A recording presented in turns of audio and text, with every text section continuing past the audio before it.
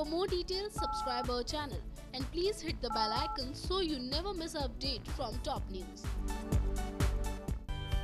अब कहानी के उस छोर की तरफ़ लेकर चलते हैं आपको जहाँ से अब कहानी में अगला ट्विस्ट जगह ले सकता है।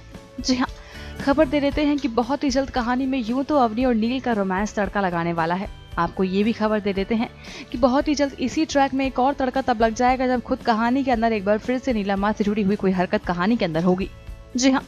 आपको बता देते हैं कि दरअसल 15 साल पहले का कोई सच आने वाला है नीलामा के सामने, जो कहानी में नए ट्विस्ट के तौर पर ऐड होगा और कहीं ना कहीं नए विलन के रूप में काम भी करेगा।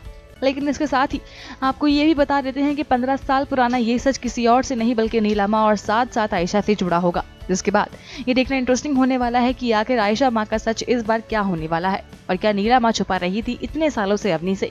जिसके बाद स्टोरी में ये भी देखना दिलचस्प हो जाएगा कि क्या नीला माँ का वो सच अपनी की भलाई के लिए था या फिर अपनी सेल्फिशनेस के लिए।